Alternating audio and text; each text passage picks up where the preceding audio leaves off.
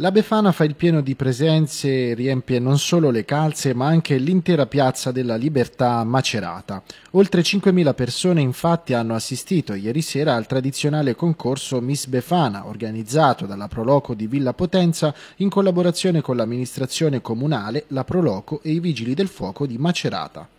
Un pomeriggio all'insegna dell'allegria, della musica e il là è stato dato dalla Proloco di Piediripa con il tradizionale canto della Pasquella e della generosità delle simpatiche vecchine che hanno sfilato sul palco allestito in piazza.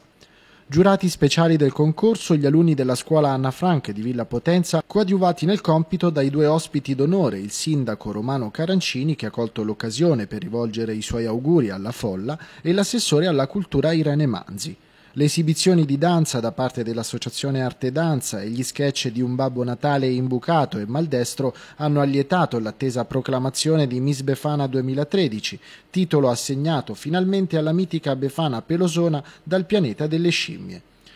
Finale mozzafiato poi grazie all'esibizione offerta dai Vigili del Fuoco di Macerata che travestiti dalle befane Clotilde e Maria Pia hanno inscenato una gara di discesa dalla torre civica, 64 metri di altezza, con atterraggio spettacolare e distribuzioni di caramelle in mezzo alle migliaia di presenti tornati per una sera bambini grazie allo spirito buono della vecchina che tutte le feste porta via.